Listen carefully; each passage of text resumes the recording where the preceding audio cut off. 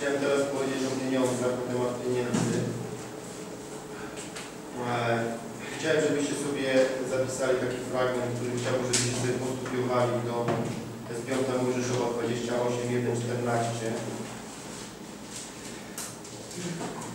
28, 1, 14, 5 Mojżeszowa. Mm. Tam jest Bożego, Bożych pragnień wobec człowieka. E, również w 5 Mojżeszowej 15, 4, 6. Też sobie zapiszcie taki fragment 15, 4, 6. Ten przeczytam. Tutaj mówi tak. Bo oczywiście nie będzie u Ciebie ubogiego. Zaznaczam stwierdzenie, bo oczywiście nie będzie u Ciebie ubogiego. Gdyż Pan błogosławić Ci będzie w ziemi, którą Pan Bóg Daje Ci w dziedziczne posiadanie. Jeżeli tylko będziesz słuchał głosu Pana Boga swego i starannie spełniał to przykazanie, które Ci dziś nadaje, gdyż Pan Bóg Twój będzie błogosławić Ci, jak Ci obiecał, abyś wielu ludom pożyczał w zastaw, ale Ty sam nie będziesz się zapożyczał i dawał zastawu. Będziesz panował nad wielu ludami, ale one nie będą nad Tobą panować. Ehm, Zobacz, Bóg mówi, to jest oczywiste, że nie będzie u Ciebie ubogiego. Oczywiste, że będziesz panował. Więc chcę, żebyście na samym początku zaczęli oglądać sobie serce Boga, jeżeli chodzi o sferę finansową wobec człowieka. Chciałbym, żeby teraz, żebyście sobie zapisali e, Kaznodziei Salomona 10, 19. Księga Kaznodziei Salomona 10,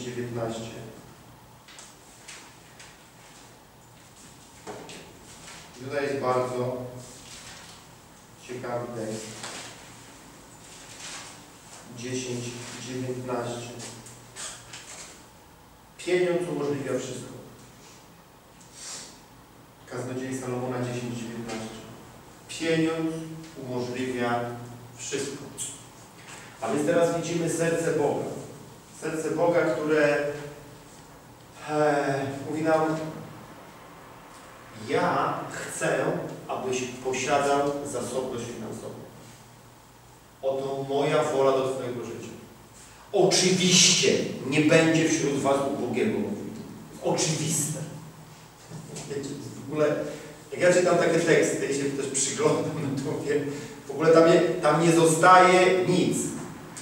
I Bóg mówi, kiedy wejdziesz do ziemi, którą Ci obiecałem, to jest w ogóle ciekawa rzecz, czyli kiedy Ty wchodzisz miejsce swojego powołania, tak? kiedy wchodzisz, kiedy chodzisz w moich objawieniach, wchodzisz w miejsce swojego powołania, kiedy Ty chodzisz w moich prawdach, Ty jesteś absolutnie zabezpieczony od strony finansowej. Absolutnie zabezpieczony od strony finansowej. E, I widzimy dalej zapis e, Kaznodzieje 10-19. Pieniądz umożliwia wszystko. Ja często rozmawiam sobie z ludźmi, którzy próbują tłumaczyć mi pewne zasady, fałszywe zasady. Twierdzą, że są to zasady Boże e, i próbują gloryfikować jakąś formę ubóstwa, podnosić takie sfery duchowe. Mówią, wiesz, dla Boga najważniejsze to jest to, że tam, ja mówię, co, to troszkę inaczej wygląda. Dla Boga e, istotą rzeczy jest Jego prawda. I taka prawda, jaka jest, to taką prawdę, to, to, to, to jest istotne dla Boga. Jaka jest prawda? Dla Boga istotna jest prawda. No Bóg sam tą prawdę powiedział, sam ją określił i teraz Bóg porusza się tylko w tym, co sam określił. Bóg się w niczym innym nie porusza.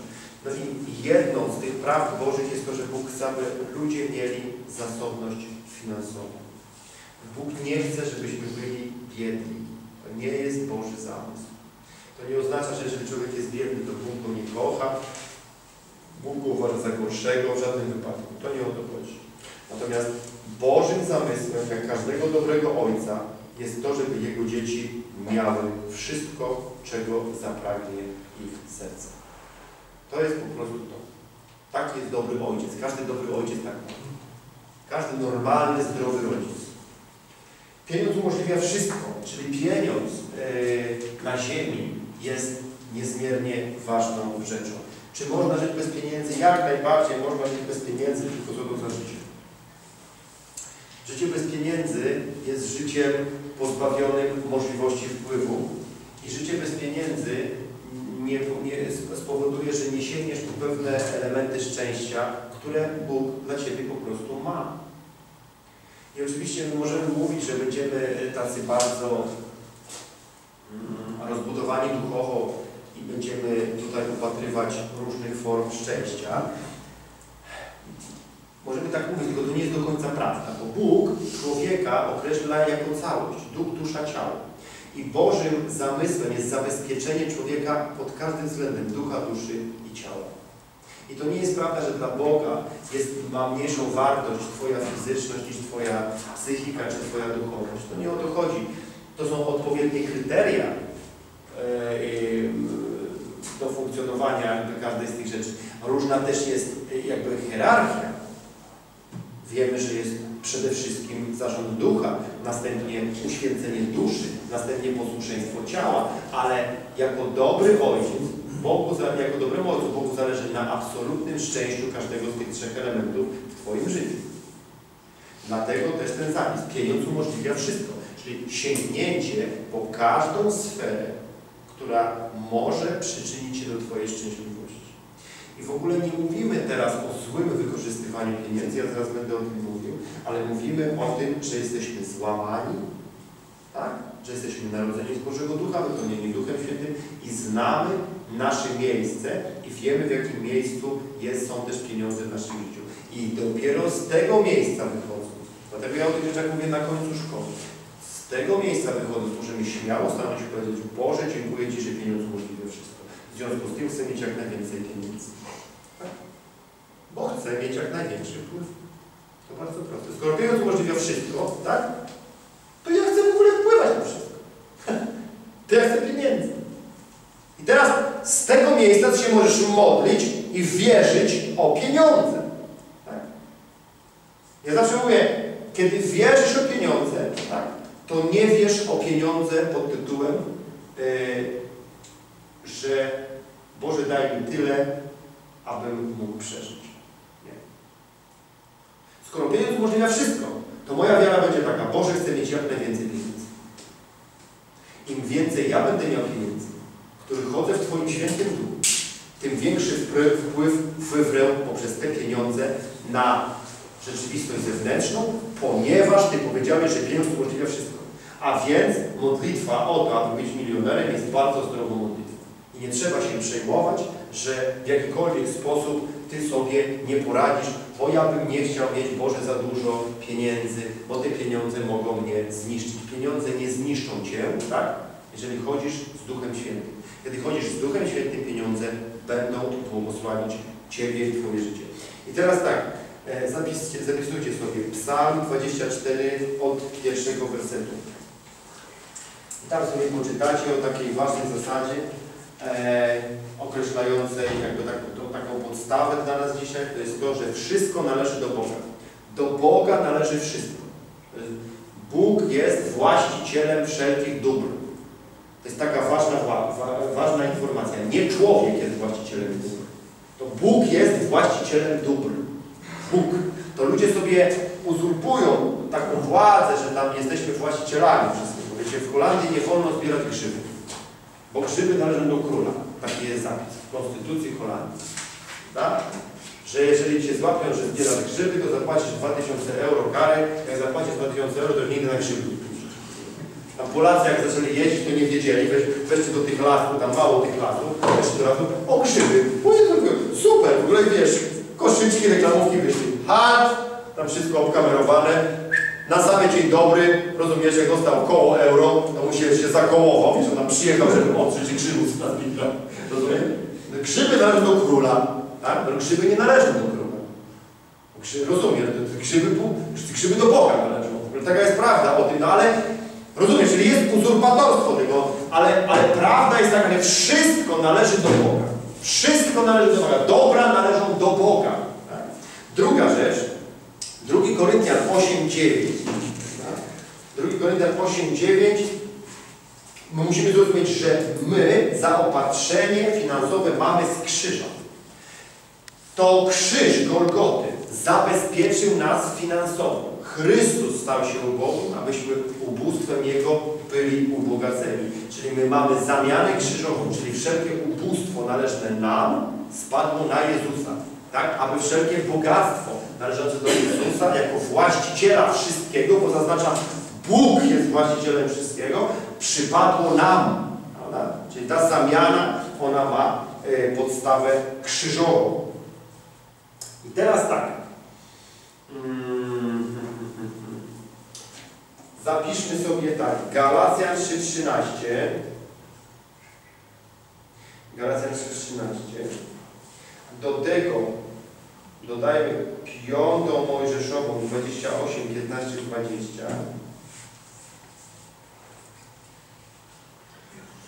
Ile możesz Galacjan 3.13 plus 5 Mojżeszowa 28, 15, 20 i ta sama 5 Mojżeszowa, trzeci werset 8, 18 5 Mojżeszowa 8, 18 to chciałem przeczytać 5 Mojżeszowa 8, 18 Pamiętaj, że to Pan Bóg Twój daje Ci siłę do zdobywania bogactw, aby potwierdzić swoje przymierze, które poprzysiągł Twoim ojcom, jak Ci to dziś okazuje. A więc widzimy tutaj bardzo ważną zasadę Bożą, że pieniądze zdobywamy pracą. Rozumiecie?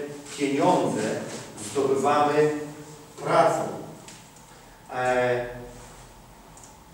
na jakiej podstawie tą pracą zdobywamy pieniądze? Na podstawie łaski, która jest z nas. Czyli my mamy łaskę do zdobywania pieniędzy. Jest napisane, pamiętaj, że to Pan dał Ci siłę. Tak? Siła jest elementem łaski.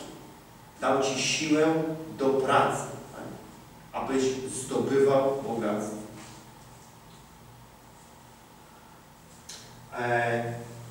Jeżeli my przyjęliśmy Jezusa jako Pana i Zbawiciela, my przyjęliśmy cały potencjał Bożych możliwości.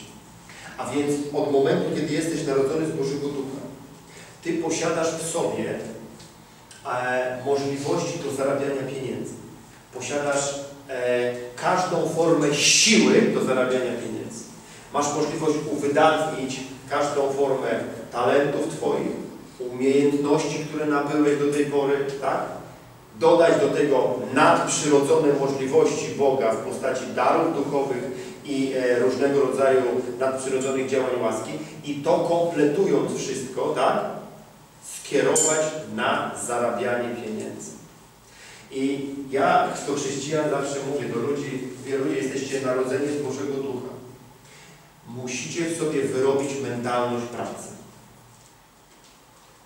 Mentalność pracy. Kto nie chce pracować, niech nie idzie, powiedział Paweł. To chodzi o to, że w Kościele powstała, po, po, powstała też taka przestrzeń, że szczególnie wśród ludzi, którzy już zaczęli być obdarowani w różnych dziedzinach, e, zaczęli wchodzić w różne służby, że oni nie potrzebują pracować i że teraz będzie Pan jakoś ich błogosławił. Tylko, że kurczę, ta piąta Mojżeszowa 8.18 to jest bezwzględna. Pamiętaj, pamiętaj, pamiętaj. Niech to nie wyjdzie z Twojego umysłu, że to Pan Bóg Twój daje Ci siłę do zdobywania bogactw. On daje Ci siłę. Do czego? Do zdobywania. Tam jest słowo zdobywać bogactwa. Tam nie jest słowo, aby oczekiwać, aż bogactwo przyjdzie. Słowo zdobyć oznacza, że musisz się podnieść, gdzieś się udać i coś zabrać. To jest zdobyć. Zdobyć to nie jest leżeć i oczekiwać, że to spadnie na Ciebie, bo to by było inne słowo tutaj użyte.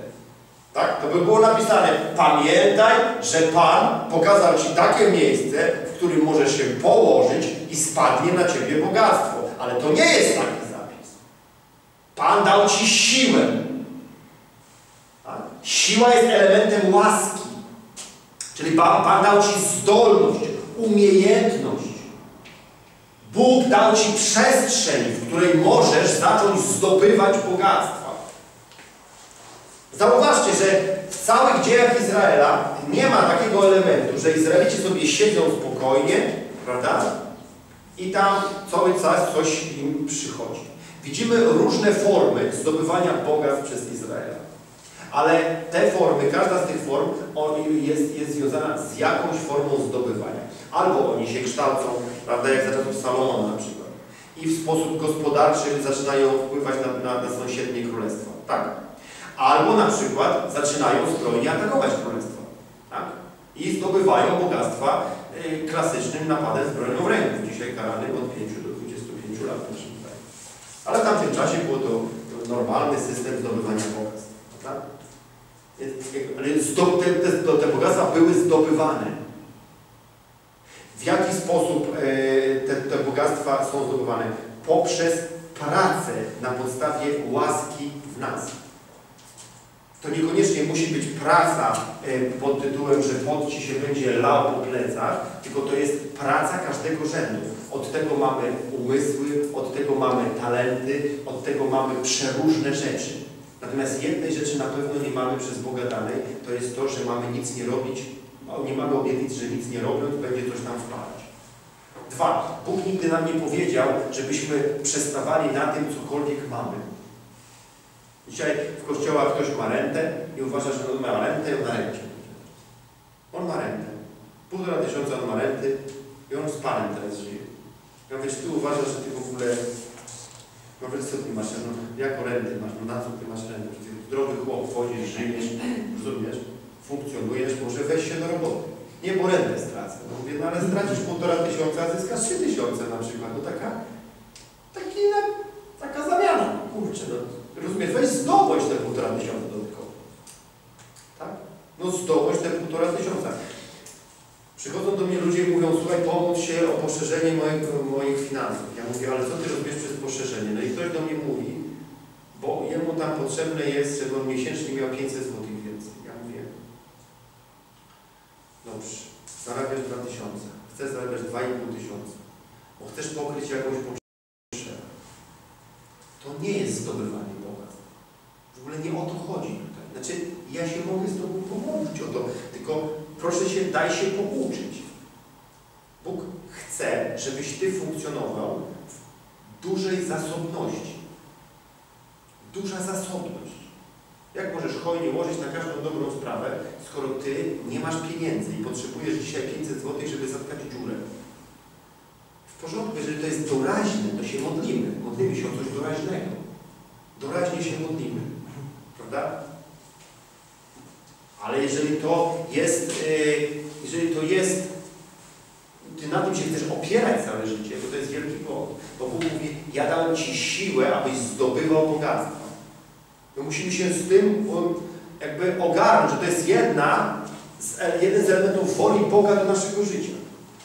Bóg chce, żebyśmy mieli zasobność finansową, żebyśmy to zdobywali naszą pracą za pomocą przeróżnych rzeczy naturalnych, wzmocnionych o ponadnaturalność.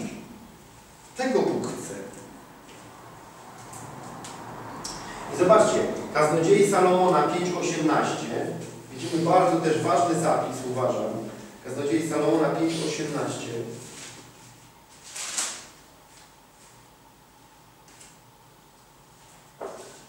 jest napisane tak. Również, gdy Bóg daje człowiekowi bogactwo i skarby i pozwala mu korzystać z tego i mieć w tym swój dział i radować się e, w swoim trudzie, jest to dar Boży. A więc Bóg chce, żebyś miał pieniądze przede wszystkim, dlaczego? Bo to jest bardzo ważne, żebyś mógł się radować życiem. To jest pierwszy powód, żebyś miał pieniądze. Wiecie, w Kościele został pokazany inny powód. Że pierwszy powód to jest po to, żebyś mógł dawać. To nie jest pierwszy powód, żebyś mógł dawać. Pierwszym powodem, dla którego Bóg chce, abyś miał pieniądze, to to, abyś się radował tymi pieniędzmi. Tak jak pierwszym powodem małżeństwa tak, nie jest nic innego, jak radowanie się wzajemnie sobą, tak? Tak, pierwszym powodem posiadania zasobności finansowej jest to, aby się radować tymi pieniędzmi. Wiecie, jak było kiedyś w Izraelu? W Izraelu nie było jednej dziesięciny, tak jak dzisiaj, dzisiaj tam mówi, że tam dziesięcina. Dziesięciny, to były różne dziesięciny. Była jedna dziesięcina na przykład, którą każdy Żyd miał odkładać dla kapłanów. To było 10% dla kapłana.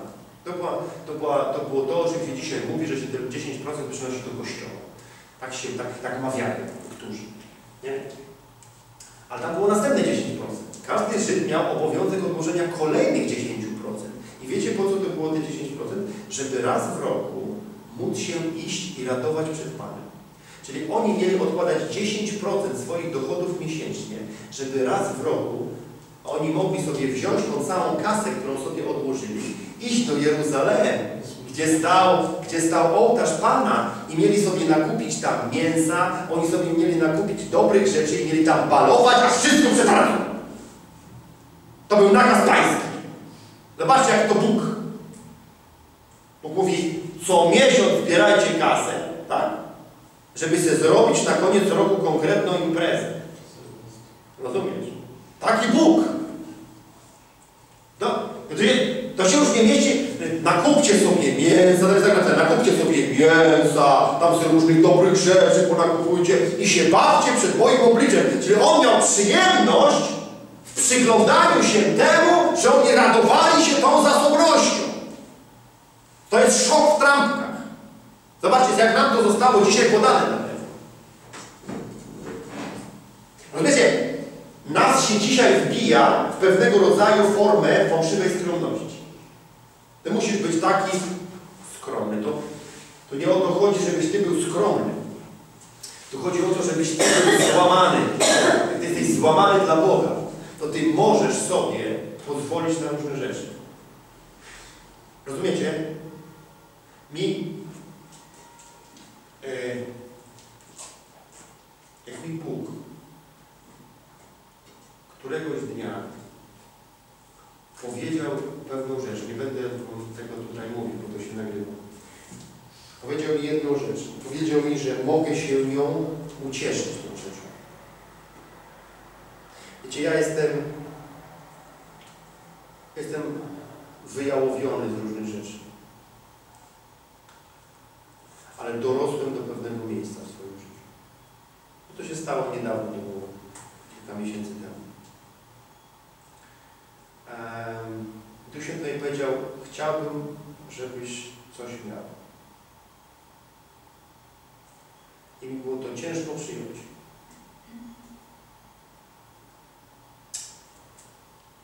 Bo, położyłem swoje życie na królestwo. To było dla mnie trudne. Ale znałem tą zasadę, o której Wam dzisiaj głoszę. I z całą odpowiedzialnością jestem w stanie powiedzieć, że dopiero, dopiero w tym roku zacząłem rozumieć, co to znaczy radować się pewnymi rzeczami przed Bogiem. Głęboko zacząłem to rozumieć. Zobaczyłem, że Jemu przyjemność. Jemu to sprawia przyjemność. Moja przyjemność sprawia Jemu przyjemność. Ja się nawróciłem prawie 17 lat temu i dopiero teraz po 16 latach ja jest, byłem w stanie odebrać objawienie. Że Jemu sprawia przyjemność, że ja mam przyjemność. I dlatego chciałbym, żebyś to zrozumiał, bo to jest pierwszy krok. Bo drugi krok jest zapisany w 2 Koryntian 9:8. Masz mieć, aby dawać. Ale żeby dawać, to najpierw musisz zrozumieć, że musisz być szczęśliwy z uwagi na to, co masz. Jeśli masz, jesteś szczęśliwy, to możesz dawać jako szczęśliwy. I wtedy nie ma kwestii, że dziesięciny przynosisz jakieś, bo to są bździny. Dziesięciny to bździny. No, to w ogóle takie rzeczy są, wiesz, nie? Śmiechu warte. Bo jak Ty jesteś szczęśliwy i zaspokojony, to powiem Ci, co przynosisz potem do Królestwa. Resztę. Resztę przynosisz do Królestwa.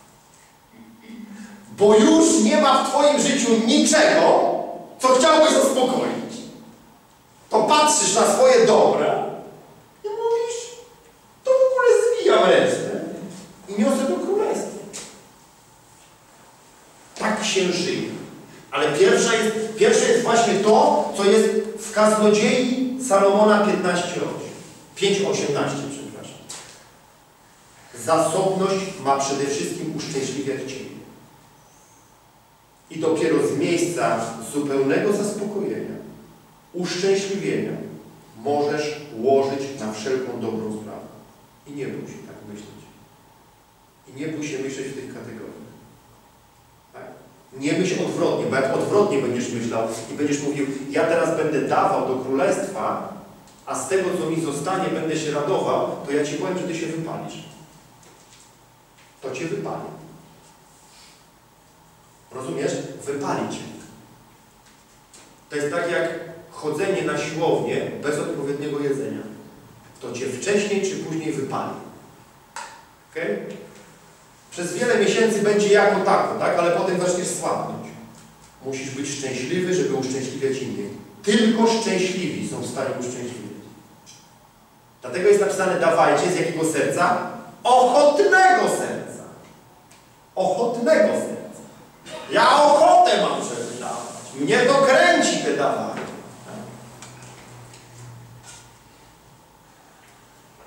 I teraz tak. Pierwsza Samuela 17:25. Takie sobie zapiszcie. Pierwsza księga Samuela 17:25. I pamiętajcie, i, i teraz taką rzecz rzucimy, żeby, aby móc przyjąć błogosławieństwo finansowe, musisz, podkreślam słowo musisz, powalić przeciwności, które blokują Cię przed zasobnością. Bo finansowe błogosławieństwo jest Tobie dane. Na niego się nie oczekuje, jego się nie wypracowuje. Rozumiecie? Błogosławieństwo, pamiętajcie dalej, błogosławieństwa finansowego się nie wymaga. Ono jest nam dane z krzyża, o czym mówiłem wcześniej. Ale, aby móc je przyjąć, musimy powalić przeciwności, które blokują nas przed zasobnością. Bo diabeł nie chce, żeby pobożni ludzie byli bogaci. Diabeł chce, żeby bezbożni byli bogaci. Rozumiecie, na czym rzecz polega? Bo pobożni milionerzy są ogromnym niebezpieczeństwem. Bo jeżeli pobożny człowiek ma duże zasoby finansowe, tak, to będzie plądrował piekło swoimi pieniędzmi. A więc diabeł nie chce, żeby pobożni ludzie mieli kasę. Dlatego wprowadził dziesiątki i setki doktryn mówiących o ubóstwie. Czy wy wiecie, że 80% katolików na świecie żyje poniżej granicy ubóstwa? 80% katolików poniżej granicy ubóstwa. Wiecie dlaczego tak jest? A czesze się ich równo na pieniądze. Rozumiecie? Państwo katolickie ich czesze równo na kasę. A 80% żyje poniżej granicy ubóstwa. Dlatego tak się dzieje, ponieważ jest im wprowadzony do głowy system, tak? że ubóstwo jest czym? Cnotą! To cnota. Cnota. Diabeł chce, żeby tak było. U protestantów jest nieco lepiej, acz nie o wiele lepiej zaznaczam. Nieco lepiej, bo, bo tam też na różnych odcinkach została wprowadzona taka mentalność, no tak, Pan błogosławi, Pan błogosławi, ale proszę Ciebie, y, trzeba żyć w skromności. Skromności. Wczoraj opowiadałem tutaj e, troszkę ludziom o mm, Emi MacPherson, takiej ewangelistce, która żyła przed II wojną światową. E, nazywaną damą Hollywood. Na jej spotkaniach nawracali się tacy ludzie jak Charlie Chaplin, jak Anthony Quinn. Rozumiecie? Ona, takie osoby tam oddawały życie Jezusowi. W tamtych czasach. Kobieta. Po rozwodzie. Zbierała w każdą niedzielę 5 tysięcy ludzi. Przynajmniej. Wygłosiła do nich Chrystusa. Założyła jedną z najpotężniejszych organizacji zielonoświątkowych na świecie która nazywa się Kościół Poczwórnej Ewangelii. Możecie sobie znaleźć w internecie. Dzisiaj liczący 9 milionów członków. Była tak niebezpieczna, że ją porwała mafia. Rozumiecie? Przy jej, przy jej e, wspólnocie stały potężne anteny. Ona nadawała w latach 30. Ewangelię na całą ziemię. W ogóle Amy McPherson wychodziła w swojej pięknej balowej sukni, w ogóle stawała, głosiła Chrystusa, uzdrawiała chorych, wypędzała demony, uczyła ludzi. Jako pierwsza kobieta w historii ruchu w ogóle charyzmatycznego posiadała szkołę liderów. Chodzi o to, że e, ona powaliła przeciwności. Przeciwności powaliła. Ona powaliła przeciwności. Dzisiaj e, wiele ruchów, w tamtym czasie to w ogóle większość ruchów protestanckich było przeciwko niej. Dzisiaj nadal wiele ruchów uważają za, za heretyczki. Jak to było, jak to możliwe, jak ona, jak ona się w ogóle nosiła, jak ona wyglądała, chodziła w tej sukni z klejnotami, w ogóle wiesz o to chodzi, nie? A ona pokazywała, że jest córką króla. No jestem córką króla. W ogóle chodziła, mówię w imieniu Jezusa wstała. W ogóle, wiesz, I, ludzie z wózków wstawali. To był szok Popatrzcie, jak ona w ogóle, popatrzcie w internecie, to ciekawa postać jest, nie? Amy McPherson. Amy Simple McPherson. Jakie są główne przeciwności do tego, aby przyjąć błogosławieństwo finansowe? Po pierwsze, to jest brak poznania na temat obfitości, czyli brak poznania tego, o czym ja mówię w tej chwili. Brak poznania. Po drugie, to jest niedowiarstwo. Ludzie nie dowierzają, tak, że mogą być bogaci. No nie dowierzają. Popatrzą na swoje dzisiejsze sytuacje finansową i mówią, to, to jest niemożliwe. Po trzecie, to jest niechęć bycia bogatym. I to jest to, o czym powiedziałem e, wcześniej, że istnieje ogromna ilość ludzi, która uważa, że bogactwo to jest grzech, a ubóstwo to cnota. Po czwarte, to są kompleksy. Zobaczcie, ludzie, którzy mają dużo pieniędzy, to są ludzie, którzy mogą być zdeprawowani do szpiku kości, ale są pozbawieni różnych form kompleksów. Po prostu. Kompleksy powodują, że nie jesteśmy w stanie ruszyć do przodu w rozwoju finansowym. Piąta rzecz to jest lęk przed zmianami. Jeżeli człowiek boi się zmian, to nie jest w stanie wejść w miejsca, gdzie będzie rozwijał się finansowo. Bo to, że jesteś dzisiaj tutaj, to nie oznacza, że w tym miejscu masz zdobywać bogactwo. Bogactwa są w różnych miejscach. I trzeba co? Szukać. Szukamy Bożego objawienia. Boże, jak ja mam zdobywać bogactwa? Skąd mam je brać?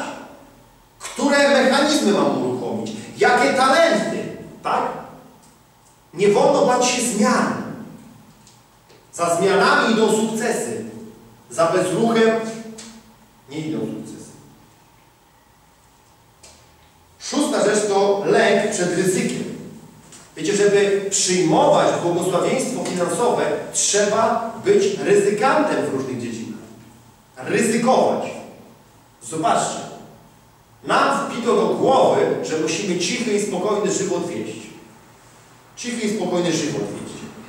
Ja mówię, no dobrze, będziemy wiedli cichy i spokojny żywot, no to, to, to będziemy bardzo ograniczeni w jakimś takim, takim systemie, bo my się nie ruszymy po nic, my nie zaryzykujemy, my nie wejdziemy w nową przestrzeń. No przecież, bo to jest nowe, tak jak na krudach na tej bajce człowieku. Ojciec uczył ich całe życie, bójcie się, pamiętajcie, nie wolno się nie bać. Tak. Opowiada im codziennie bajkę o tym, jak jedna dziewczynka się nie bała i ją zabiło coś. Tylko dlatego, że się nie bała. A więc lęk przed ryzykiem blokuje rozwój finansowy. Siódma rzecz to jest niechęć rozwijania się. Chrześcijanie mają niesamowitą niechęć do rozwijania się. Jak im się mówi, e, idź do szkoły, zacznij robić nowe rzeczy, on nie potrzebuje Ducha Świętego. On nie potrzebuje iść do szkoły, on nie potrzebuje tego. Ja zawsze mówię, ludzie, ja nie robię dzisiaj tego, co robię, gdybym nie był kaznodzieją w pełnym etacie, tak? Ja bym poszedł do szkoły, ja bym sobie zrobił w ogóle szkołę. Bo wiecie co, bo wiecie co, bo, bo gdybym ja nie robił tego, co robię, to bym się biznesem zajął. Ja to dzisiaj wiem. Po prostu. A więc bym się wykształcił w tym. Bym nie był idiotą skończonym, tak? Który nie umie do trzech zliczyć i bym liczył na to, że namaszczenie Ducha Świętego jest na mnie. Namaszczenie Ducha Świętego nie jest po to, żeby z niego żyć. Namaszczenie Ducha Świętego jest po to, żeby ci przebijać drogę. Ono ma przebijać, ono jest jak dynamit, ono ma rozsadzać mury.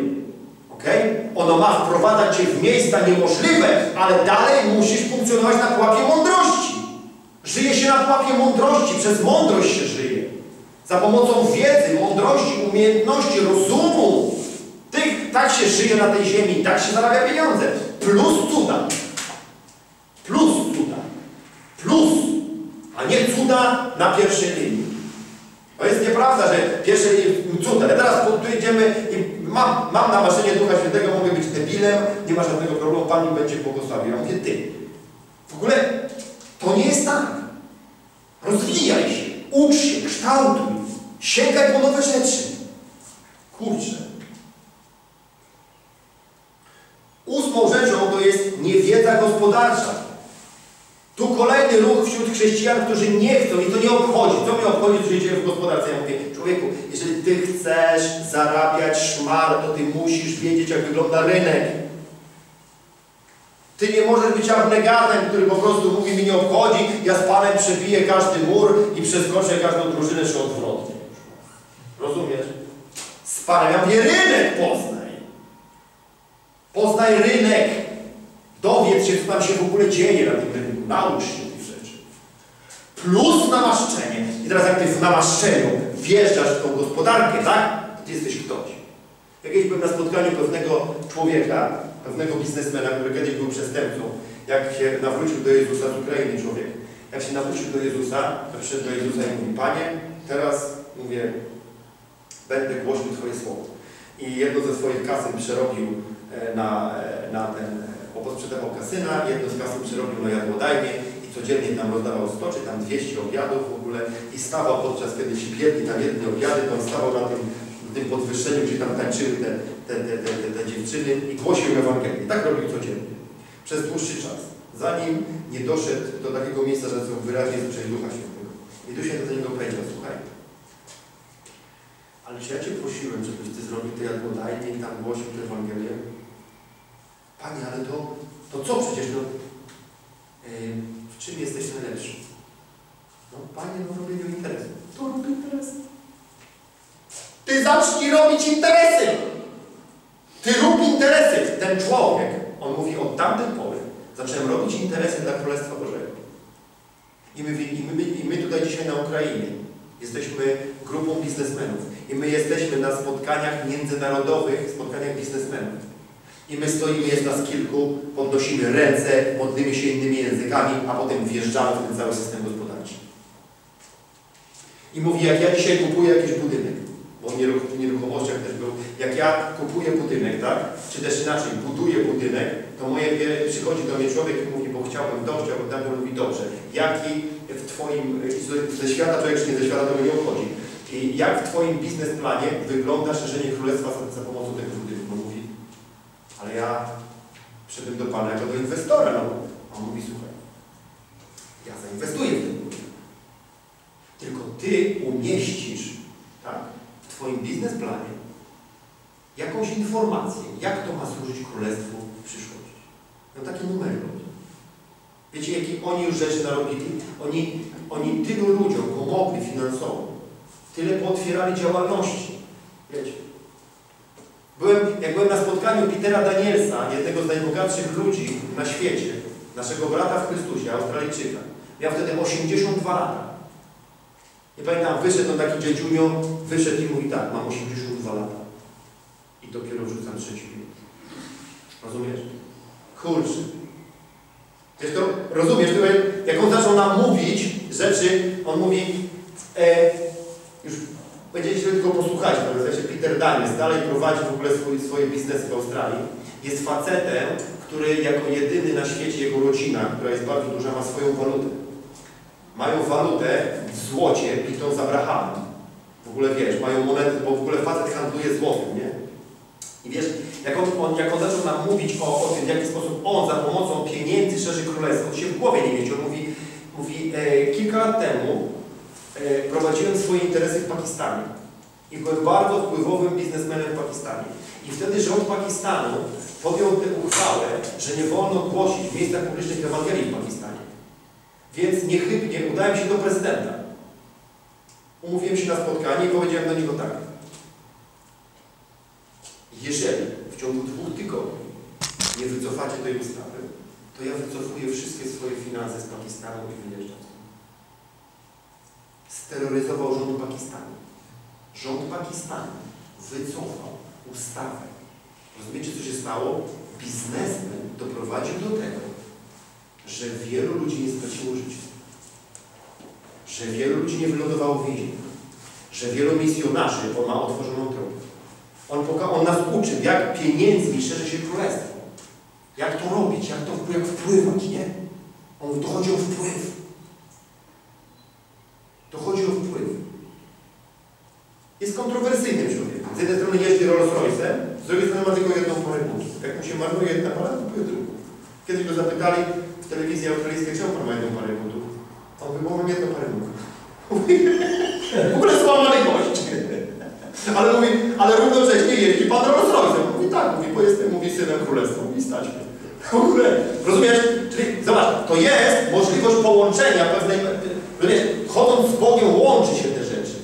Ale widzisz, on e, był człowiekiem, który się zawsze rozwijał. I on badał rynek. On zawsze badał rynek.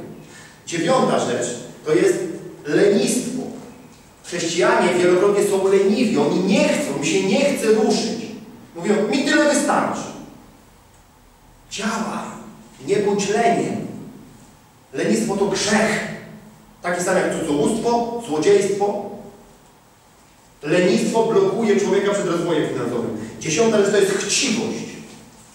Chciwość jest grzechem i blokuje przed rozwojem finansowym. Bo jeżeli chcesz mieć, aby budować swój egocentryzm, tak, to jesteś w wielkim problemie.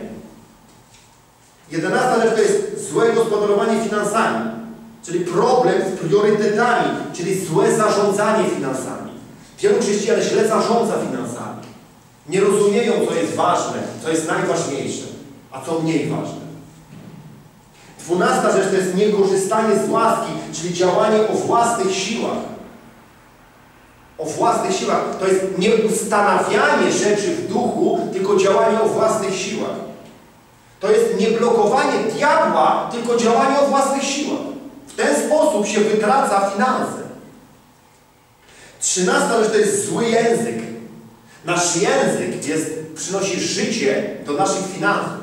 Chrześcijanie powinni określać siebie jako bogaczy, jako mających, a nie nie mających. Jako posiadających, a nie nieposiadających. Czternasta rzecz to jest poruszanie się poza objawieniem. Tak jak wszystko, tak jak mówiliśmy o małżeństwie, wszystko jest w sferze objawienia. Również sfera finansowa jest, jest, jest, jest w tym miejscu. Finanse są w sferze objawienia. Tam trzeba wiedzieć, za co się mam wziąć, a żeby wiedzieć, muszę przebywać z Bogiem. Żeby wiedzieć, gdzie ruszyć. I piętnasta rzecz to jest przełożenie miłości zdawcy na dar, czyli pokochanie pieniędzy. Wiecie, nigdzie w Biblii nie jest napisane, że pieniądze są złe, ale miłość do pieniędzy jest korzeniem wszelkiego zła.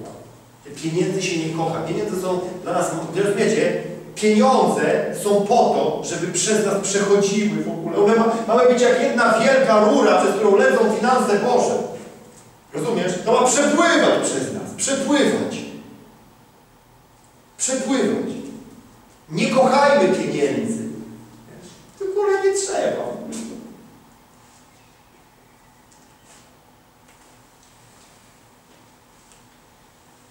Łukasz, teraz 6,38.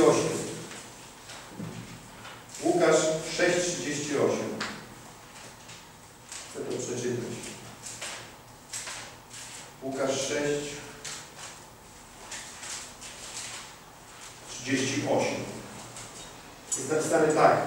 Dawajcie, a będzie wam dane, miarą dobrą, natłoczoną, potrzęsioną i przepełnioną dadzą w zanadrze wasze, albowiem jakim sądem sądzicie, takim was osądzą, jaką miarą wierzycie, taką was odmierzą. Dawanie sądzi twoje posiadanie. Posłuchajcie.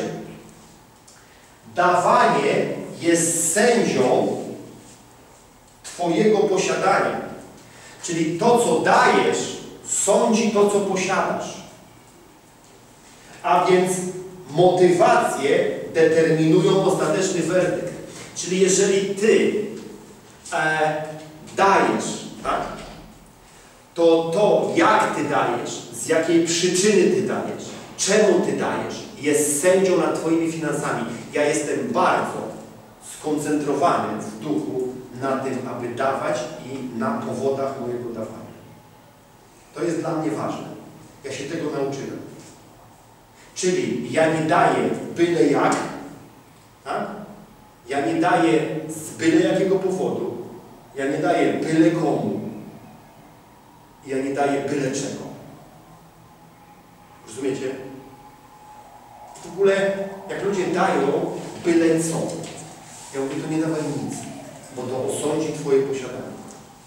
Czyli jeżeli ludzie przynoszą na przykład do królestwa bździny jakieś, tak?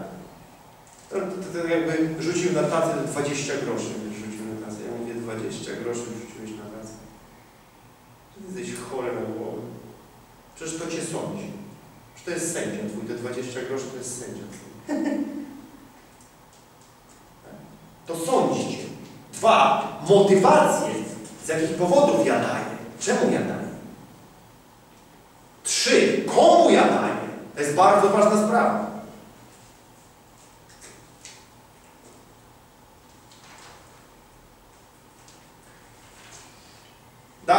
Czytamy. Księga Malachiasza 3, 10, 11. Pamiętajmy, że podstawą dawania jest siew Królestwo Boże. Nasze dawanie, ono ma zasilać Królestwo Boże, a nie zasilać inne rzeczy. Nasze dawanie, ono zasilać ma Królestwo Boże. Bo ludzie myślą, że jako chrześcijanie my możemy dawać komu chcemy, jak chcemy. To jest nieprawda. Nie po to otrzymujesz, otrzymałeś od Boga błogosławieństwo. I nie po to teraz masz zdolność do zdobywania bogactw. I zdobywasz te bogactwa, aby dawać w nieodpowiedni sposób i w nieodpowiednie miejsce. Siejemy w królestwo. I teraz po pierwsze, siejemy w życie. Co to znaczy siejemy w życie? Siejemy tam, skąd życie przychodzi do naszego życia. Bo tam, gdzie siejesz, stamtąd przychodzi zwrot do Twojego życia. Istnieją dwie formy w Królestwie Bożym.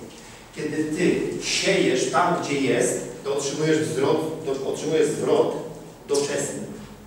Jeżeli siejesz tam, gdzie nie ma, a gdzie jest potrzeba, tak, to otrzymujesz zwrot w niebie. Ale jeżeli siejesz tam, gdzie nie ma i gdzie potrzeby nie ma, rozumiesz? To przekleństwo przyjdzie do Twojego życia. Jest wiele miejsc, gdzie w ogóle nie możesz siać swoich pieniędzy, bo Twoje pieniądze to jest część Twojego życia, tak jakbyś zasiał swoje życie. Tak samo jak nie idziesz na przykład e, dla rozrywki, posiedzieć sobie w burdelu, prawda? Bo nie masz takiej, bo taki, nie ma takiej, takiej rozrywki. Ja w niedzielę po nabożeństwie pójdę do agencji towarzyskiej, posiedzę sobie, rzeczywiście się napiję. Nie robisz tego. Dlaczego? Bo szanujesz swój czas, szanujesz swoją osobowość, szanujesz Kościół, szanujesz, prawda? Szanujesz życie swoje, Boga szanujesz w ogóle. Ale przecież pieniądze Twoje są niczym innym jak częścią Twojego życia. Zasuwasz na te pieniądze 8-10 godzin w ciągu dnia albo więcej. No więc to jest jedna trzecia Twojego życia. I teraz jeżeli Ty jedną trzecią swojego życia zaczynasz siać w miejsce śmierci, no to Ty kurczę w ogóle niszczysz całą procedurę. To, to jest taki sam grzech, jak każdy inny grzech. A więc to nie jest kwestia, że ja tylko daję, tylko to jest kwestia, gdzie ja daję. Dajemy tam, gdzie płynie życie. Bo jeżeli dajemy tam, gdzie płynie życie, to zwraca do nas życie. Jeżeli dajemy ubogiemu, prawda, czyli tam, tam nie ma życia, ale jest potrzeba, dajemy ubogiemu, to Słowo Boże mówi, że pożyczamy Panu. Czyli zwrot otrzymamy w niebie, bo tu na ziemi nie otrzymamy. Niektórzy myślą, że dając ubogim, otrzymają zwrot na ziemi, a Wy nie dostaniesz nic na ziemi. W niebie, tak. My też dajemy ubogim, tylko to jest pewna część dawania, gdzie dajemy, tak? Jest taka część naszej służby, która daje ubogim i to jest dla ubogich, tak? To jest inwestycja nasza w niebo. Ale jest taka część naszej, naszej służby finansowej, która daje w miejsce życia. Daje w miejsce życia. Siejemy tam, gdzie jest życie. Po prostu. Więc jeżeli e, mam do wyboru na przykład za 10 tysięcy kupić sprzęt ewangelizacyjny, który będzie siał życie, no to idę kupuję sprzęt ewangelizacyjny, niż miałbym zanieść to ubogim. Rozumiesz? Jak miałbym e, 10 tysięcy w ręku i teraz mam, czy ja kupię sprzęt ewangelizacyjny, czy ja dam ubogim? No kupię sprzęt ewangelizacyjny. Bo w ubogich to po prostu wpadnie. Rozumiesz, o co tu chodzi? Ja, ja prowadziłem 3 lata kościół w ośrodku dla bezdomnych. I e, inwestowanie, takie dawanie ubogiemu, nie inwestowanie, tylko dawanie ubogiemu, to jest jak dawanie w studnię. To też trzeba robić, bo trzeba jakoś tego człowieka ratować jak możemy, ale to musi mieć swoje miejsce, to musi mieć swój czas, swoją przestrzeń. I za to nie otrzymasz zwrotu tu na ziemi, tylko za to otrzymasz na, e, od Boga w niebie. Oczywiście też, jeżeli będziesz według objawienia postępował. Bo jest kupa ubogich, tak? którzy w ogóle z diabła są. Jest w ogóle inny kaliber, wiesz, nie? Jak ja się przyglądam ludziom, co teraz się dzieje, co się dzieje, są na przykład kościoły uliczne, one non-stop karmią siebie tych samych ubogich. Ubogich w Polsce jest człowieku 6-8%. Bezdomnych znaczy. I oni ich karmią tam cały czas. Tak? I ich i wydają kolosalne pieniądze na nic. Rozumiecie? tak niewielka ilość tych ludzi w ogóle wychodzi, wiecie, że się w głowy nie mieści. Nie? Niewielka ilość. Nie? W ogóle niszowe tematy są, tak. A więc po pierwsze siejemy w życie, po drugie siejemy tam, gdzie się karmimy, słowem i miłością. Tam siejemy pieniądze. Po trzecie, siejemy w służbę, w którą jesteśmy zaangażowani sami. W takie rzeczy siejemy. A więc po pierwsze siejemy tam, gdzie jest globalne życie. Po drugie siejemy tam, gdzie się karmimy. Po trzecie siejemy w służbę, w której jesteśmy. I po czwarte, tam, gdzie indywidualnie ujawniamy. Bo Bóg może Ci powiedzieć w różnych okolicznościach, gdzie masz zasiać pieniądze. Rodzaje dawania.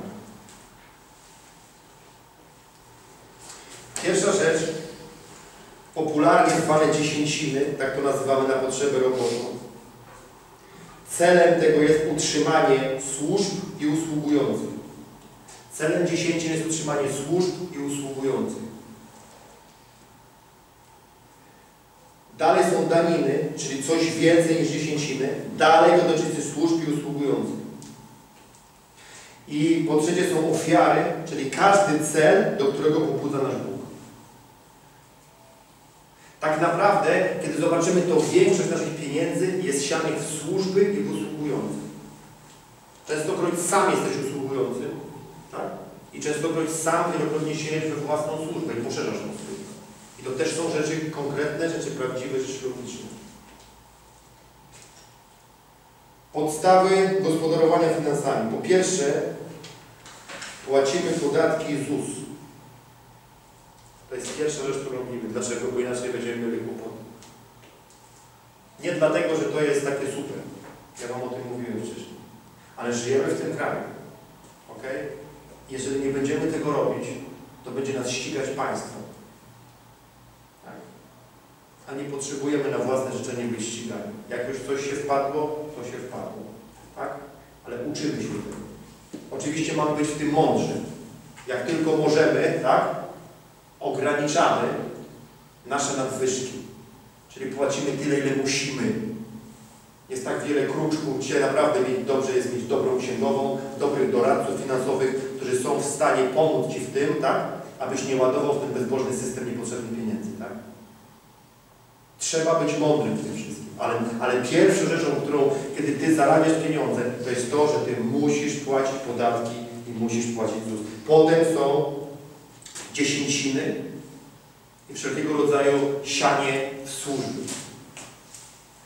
Nast- Następnie masz szczęście osobiste, rodzinę, czyli rodzinę i dom generalnie. Zawsze, zawsze odkładasz pieniądze najpierw na królestwo to jest bardzo praktyczna rada, są praktyczne rzeczy. Odkładasz pieniądze na królestwo, następnie odkładasz na wszystkie rzeczy związane z Twoim domem. I to i gwarantuję Ci, nigdy Ci nie zabraknie. To nigdy Ci nie zabraknie. W moim życiu nigdy mi nie zabraknie. Nigdy. Zawsze na początku każde moje finanse, one są, najpierw jest oddzielana 10, wiecie, mi cokolwiek, ja się tak w życiu nauczyłem, ja sobie tak korzystam z takich prostych mi ktoś coś da. Ktoś coś da. Da mi ktoś, nie wiem, koszulkę jakąś, sweterek, cokolwiek, nie? Ja sobie sprawdzam cenę tego, tak? I 10% ja z tego od razu odrzucam na służbę. Ja się tak nauczyłem tego, rozumiesz? To taki mechanizm mam sobie. To jest mega prosta rzecz. Nawet jak coś dostanę materialnego.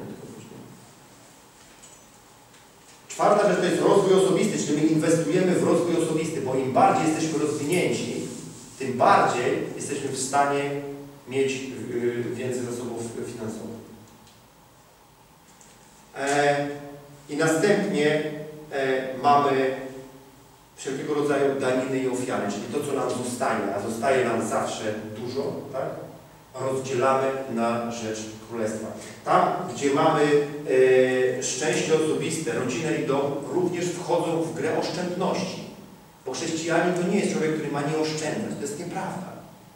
Chrześcijanie powinni się uczyć oszczędności. Święty Paweł o tym mówi, kto coś z Was może zaoszczędzić. Czyli Paweł mówi o oszczędzaniu. Tak? Oszczędzanie to też nie polega na tym, że tylko odkładasz pieniądze, aby je dać na królestwo, tylko też odkładasz na swój rozwój osobisty. Odkładasz na rozwój swojej firmy, różnego rodzaju rzeczy. A więc oszczędzanie jest dobre. Wesley mówił taką ważną rzecz, mówi pracuj ile możesz, tak? Dawaj ile możesz, zaoszczędź ile możesz. Wiecie, i to są takie bardzo podstawowe rzeczy na temat finansów, które, które, które Wam mówię, ale chciałbym, żebyśmy z tego mogli po prostu zrobić użytek i żeby to nie było, e, to nie było zakryte przed. Bo diabeł chce, żebyśmy w sferze finansów w ogóle nie wiedzieli, jak to robić. My w Warszawie prowadzimy e, warsztaty finansowe, które, które są, jakby, gdzie, gdzie prowadzi mnie Michał. E, Będziemy też zapraszać gości różnych, e, bo, e, bo my chcemy, żeby ludzie znali techniczne sfery zarabiania pieniędzy, techniczne. I chcemy, żeby ludzie w Kościele jak najmniej popełniali błędów. Żeby na ludziach w Kościele nie było bez przerwy nagonki ze strony urzędów skarbowych, ze strony komorników i innych, rozumiecie? I żeby ludzie naprawdę w tym kraju byli w stanie zarabiać dobre pieniądze. Także też warto z tego korzystać. Jak tam w internecie to odnajdujecie, to korzystajcie z tego. Są warsztaty rozwoju osobistego. Dobrze. Kochani, zrobimy sobie e, 15 minut przerwy i ostatni temat.